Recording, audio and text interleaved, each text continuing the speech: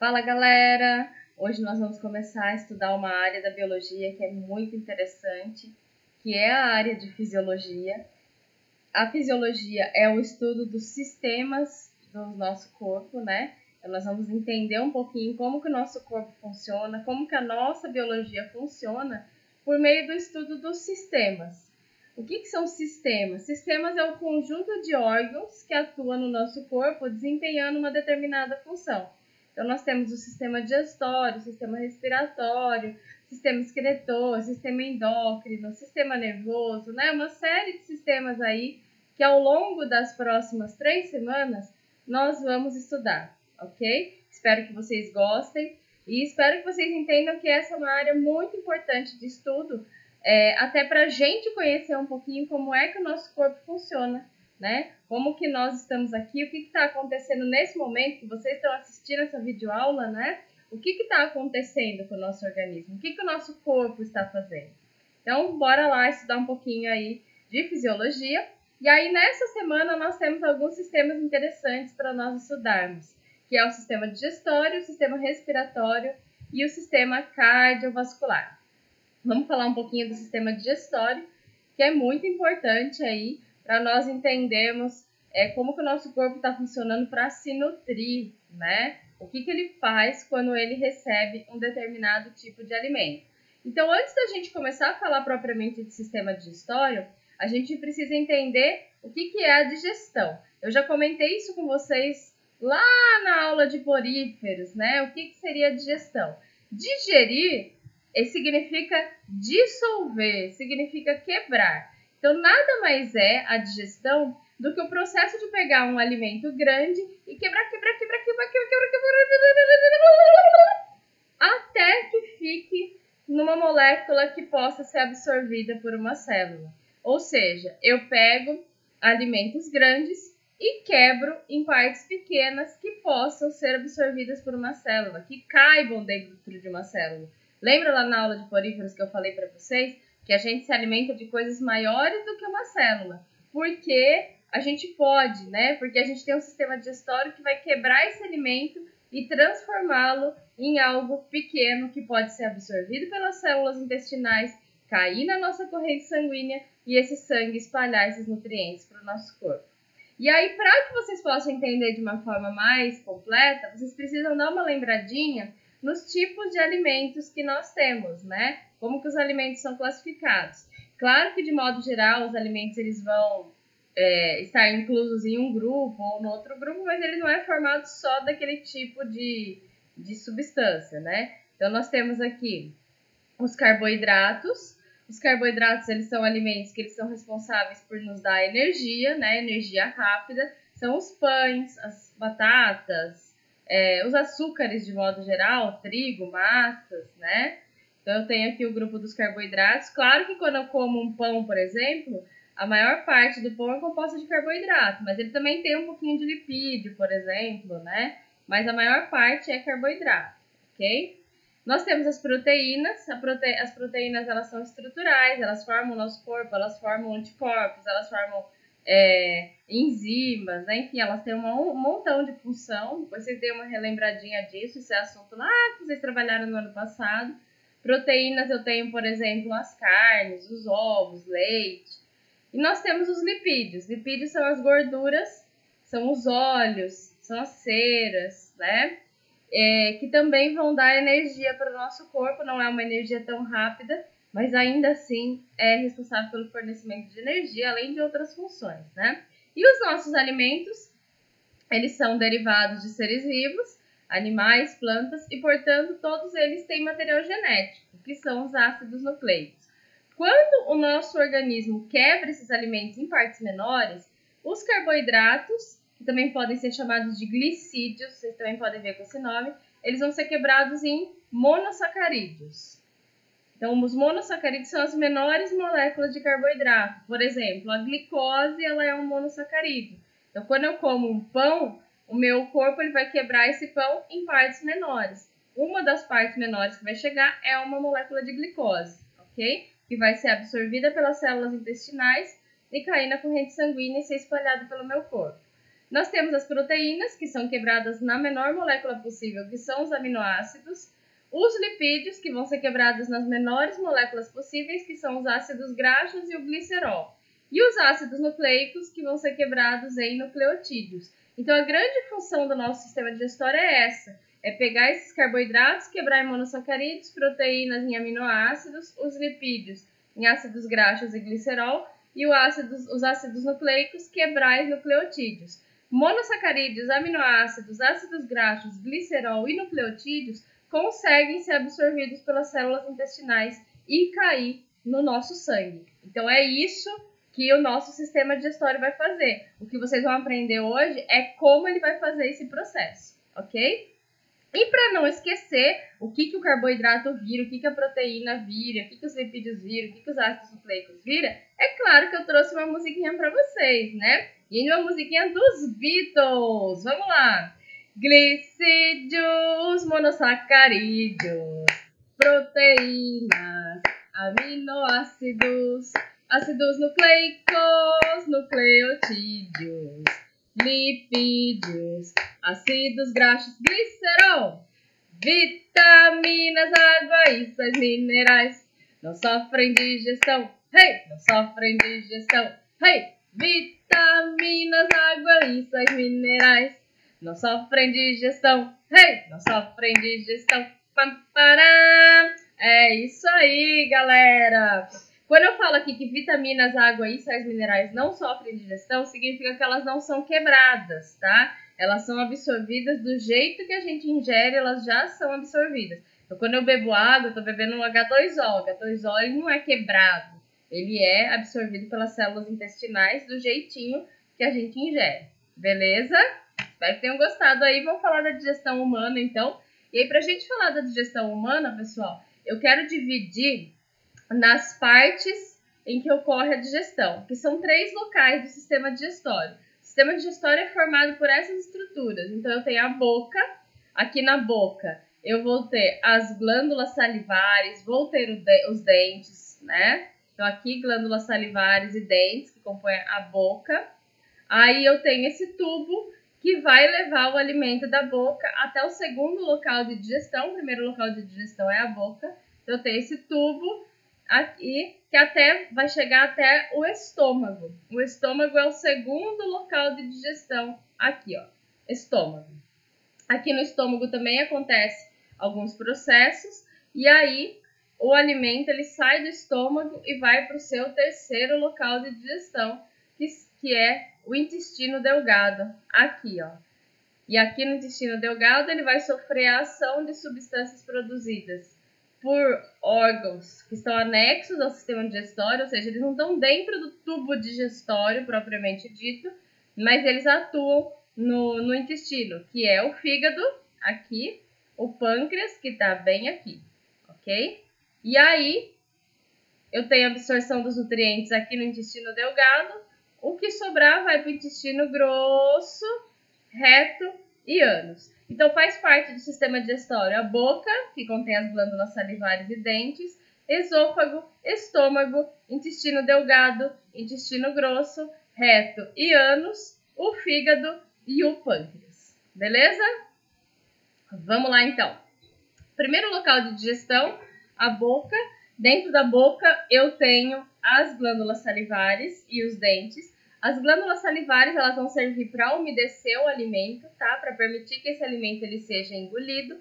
Mas também não é só isso. Na boca, é, nós temos a produção de uma enzima que vai atuar aí na digestão do alimento, ok? Mas antes da gente falar propriamente da enzima e da digestão do alimento, a gente precisa falar de alguns fenômenos físicos que acontecem, né? Porque a digestão ela vai ser digerida em fenômenos físicos e em fenômenos químicos.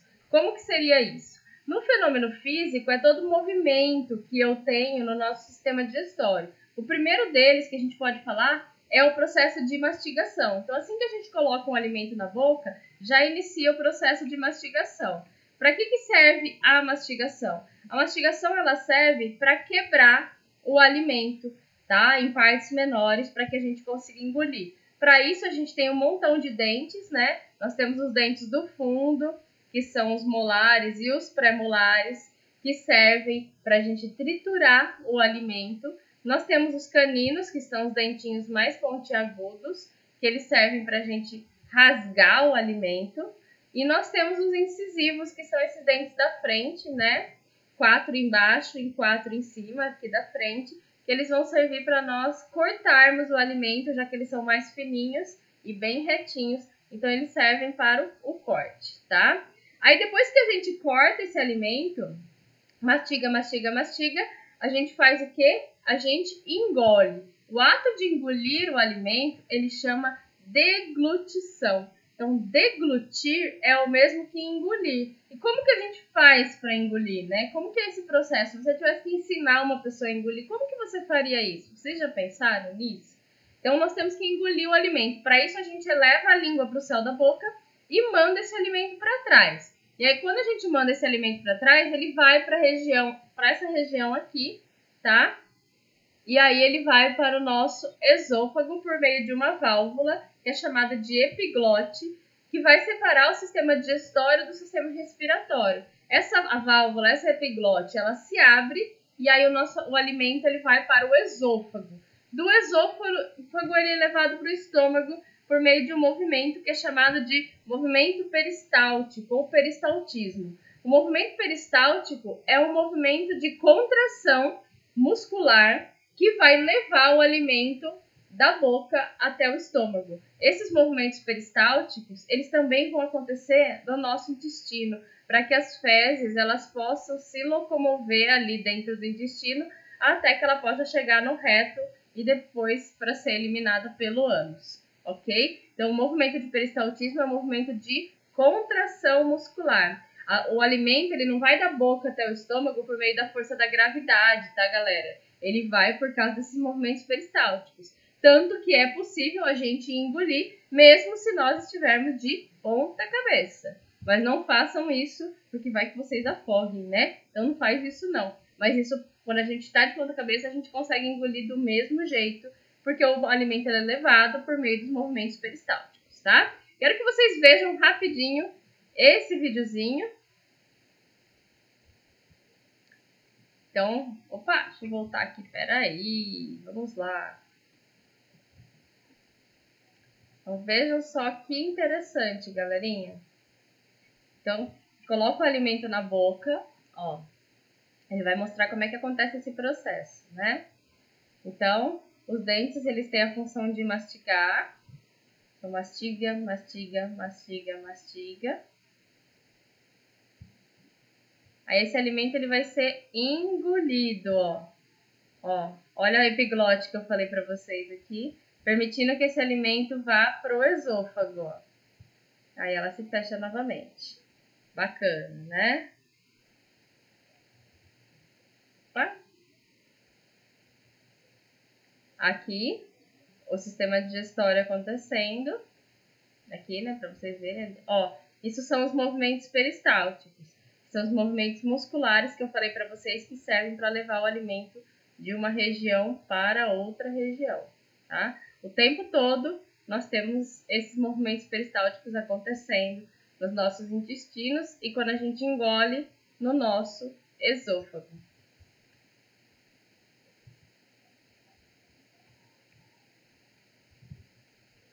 Voltando a falar um pouquinho de digestão, né?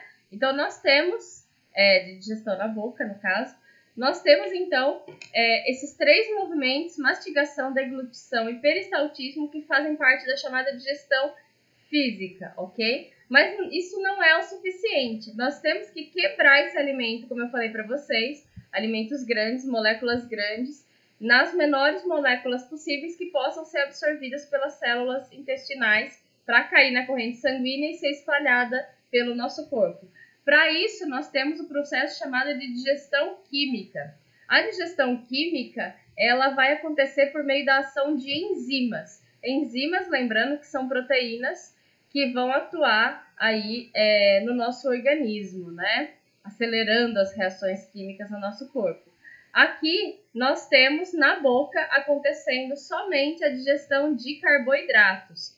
Os carboidratos que a gente come, então, eles vão ser digeridos na boca por meio da ação de uma enzima que recebe o nome de enzima pitialina. Ou vocês podem ver essa enzima também com o nome de amilase salivar. Ela serve para digerir carboidratos e, como vocês devem se lembrar, as enzimas elas são muito, muito, muito específicas. No caso da pitialina, ela vai digerir os carboidratos em pH 7, ok? Somente em pH 7. Então, na nossa boca, nós temos um pH 7, que é um pH neutro. Vocês devem lembrar que o pH ele varia aí numa escala é, que vai até 14. Então, ele vai de 0 a 14. E aí, é, abaixo de 7 é considerado um pH ácido, acima de 7 é um pH básico ou alcalino, e 7 é um pH neutro, ok? Então, quando a gente ingere um alimento, vamos imaginar que você está comendo um pão com carne, a carne na boca ela só vai sofrer o processo de digestão física, mastigação, deglutição, peristaltismo. Ela não vai sofrer digestão química na boca, a carne. Quem vai sofrer digestão química na boca são os carboidratos, é o pão, no caso, por meio da ação da enzima pitialina que vai começar a quebrar esses carboidratos. Não vai quebrar completamente, mas vai começar a quebrar em meio a um pH 7, beleza? Aí a gente deglute, né? A gente engole e o alimento vai parar no nosso estômago por meio da ação dos movimentos peristálticos, ok? No estômago, eu tenho a ação do ácido estomacal, que vai atuar junto com uma enzima que é a enzima pepsina. O ácido estomacal, que é o HCl, junto com a enzima pepsina, formam o chamado suco gástrico. O suco gástrico ele tem a função de dissolver o alimento, é um ácido, né? E é um ácido forte. Então ele dissolve esse alimento, tornando esse alimento líquido. Mas além disso, a pepsina ela vai atuar na digestão das proteínas, ou seja, de, transformando parte dessas proteínas em aminoácidos, ok? Então os carboidratos lá na boca eram transformados em monossacarídeos. As proteínas elas vão ser transformadas, parte delas, em aminoácidos, por meio da ação de uma enzima que é chamada de enzima pepsina, que é produzida pelo próprio estômago, em meio a um pH ácido, que é um pH 2. Professora, e os carboidratos que começaram a ser digeridos na boca, eles continuam sendo digeridos no estômago? Não, gente, não continuam. Eles não sofrem digestão química no estômago, porque no estômago eu vou ter somente a enzima pepsina atuando em pH 2, ou seja, um pH muito, muito ácido. Quando tudo isso está líquido, ele vai, esse, essa, esse líquido, ele vai sair do estômago e ele vai pro intestino delgado. É no intestino delgado que eu tenho a finalização do processo de digestão. Como? Digestão de carboidrato, digestão de proteínas, digestão de lipídios e digestão de ácidos nucleicos. Então, o carboidrato que começou a ser digerido na boca por meio da pitialina, ele vai terminar de ser digerido no intestino delgado, ou seja, ele vai transformar em monossacarídeo no intestino delgado. As proteínas que começaram a ser digeridas no estômago, começando a ser transformadas em, em aminoácidos no estômago, elas vão terminar de ser digeridas no intestino delgado. Os lipídios os ácidos nucleicos que nem tinham começado a sofrer digestão química, eles vão começar e finalizar esse processo de digestão química no intestino delgado. Como? Por meio da ação do suco entérico, do suco pancreático e da bile. O suco entérico é um conjunto de enzimas que é produzida pelo próprio intestino delgado que vão atuar nesse processo. Já o suco pancreático é um conjunto de enzimas que é produzido pelo pâncreas, mas que vai ser liberado no intestino delgado. Ele vai ser lançado ali no intestino delgado para finalizar esse processo de digestão. E a bile, ela não é uma enzima, cuidado, tá? Ela não é enzima. Ela é uma substância que é produzida pelo fígado, cuidado com a pigadinha também, e armazenada aqui na vesícula biliar, ok? Que ela tem a função de atuar quebrando um pouco, né? Diminuindo, na verdade, as moléculas de gordura. Então, eu tenho gotículas de gordura grande que vão se transformar em gotículas menores por meio da ação da bile. Ela funciona como se fosse um detergente biológico. Então, eu pego uma gotona de gordura, de lipídio que você comeu, né? Sei lá, comeu um pastel. Então, você comeu uma coisa muito gordurosa. E aí, a bile vem ela pega essas gotas de lipídio e transforma em gotinhas menores para facilitar a ação das lipases. As lipases, sim, são enzimas que atuam aí na digestão de lipídios, ok? E aí, quando o processo de digestão termina, lembra do começo da videoaula? Digerir significa quebrar, quebrar em molécula, moléculas pequenas, né? Em moléculas que possam ser absorvidas por uma célula. E aí, então, quando a digestão termina, eu vou ter a absorção de nutrientes. A absorção dos nutrientes acontece no intestino delgado, ok? Como? As células do intestino delgado que elas têm essas dobrinhas aqui, ó, que vocês estão vendo na foto, isso é uma foto mesmo, que são as chamadas microvilosidades, ok? Que servem para ampliar a absorção de nutrientes. Então, os nutrientes eles vão ser absorvidos pelas células do intestino delgado e aí, pum, cair na corrente sanguínea. Caiu na corrente sanguínea, esses nutrientes eles são espalhados para todas as células do nosso corpo, ok? E aí o processo de digestão ele é finalizado. Só que aí, pessoal, nós. Ah, lembrando que esse processo acontece no intestino delgado por meio, é, em meio a um pH alcalino, a um pH é, básico, pessoal. Ou seja, um pH 8, basicamente um pH 8, ok? Que vai acontecer esse processo. Então, na boca é um pH neutro, no estômago é um pH ácido e no intestino é um pH básico, um pH alcalino. E aí, aquilo que não foi absorvido, né? Aquilo que não é nutriente, que não foi absorvido pelo intestino delgado. Aí nós temos a ação do intestino grosso. O intestino grosso, ele vai levar a, as fezes, né? Então é ali que eu tenho a formação das fezes. E eu vou ter absorção de água, pessoal. Lembra que eu falei para vocês que aqui do estômago o alimento ele vai sair líquido, na sua forma líquida? Então, aqui quando ele está no intestino delgado, ele ainda é líquido, tá? E aí no intestino grosso é que eu vou ter a absorção de água e a formação das fezes. Então a água vai ser absorvida ali para que as fezes elas tenham uma consistência mais pastosa e também para que a gente não desidrate, tá? Então a água nesse processo vai ser absorvida no intestino grosso para que a gente possa ter parte dessa água reposta e a gente não sofra o processo de desidratação. E aí, é isso, tá bom? É esse o trajeto que o alimento faz no nosso corpo. Espero que vocês tenham gostado e vamos cantar uma musiquinha para finalizar. Vamos lá. Me dá, me dá, me dá, me dá pichalina pro amido atacar. Me dá pichalina pro amido atacar. pH 7 vai facilitar. Me dá, me dá, me dá, me dá, me dá pepicina pra carne atacar. Me dá pepicina pra carne atacar. pH 2 vai facilitar. Lipídios, glicídios, protídeos, o DNA e o RNA. Quem ataca tudo é o suco do pâncreas, a bilha, a gordura vai emulsionar.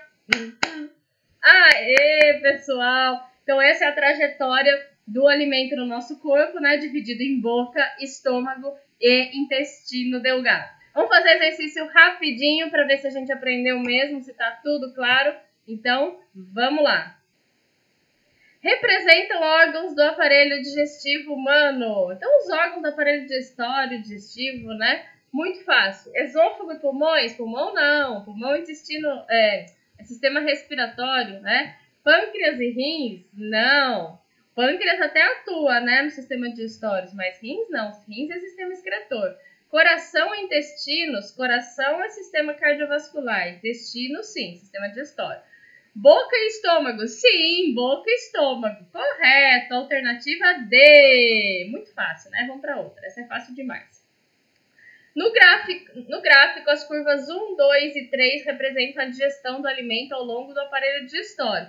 Vejam aqui que no eixo X, pessoal, tem os locais de digestão, boca, esôfago, estômago, intestino delgado, intestino grosso. E aqui no eixo Y, eu tenho o tamanho das moléculas de alimento. Ou seja, quando eu tenho essas curvas, ó, significa que as moléculas estão diminuindo de tamanho, certo? Porque o gra no gráfico está caindo. Quando que a molécula diminui de tamanho? Quando ela sofre digestão, ok? Então veja que na curva 1, ó, já cai logo na boca. Então é um alimento que sofre digestão na boca, ó, boca e esôfago. Aí não sofre digestão no estômago, sofre digestão no intestino delgado. Aí uma curva 2, ó, permanece constante boca e esôfago, ou seja, não sofre digestão na boca, sofre digestão no estômago e intestino delgado.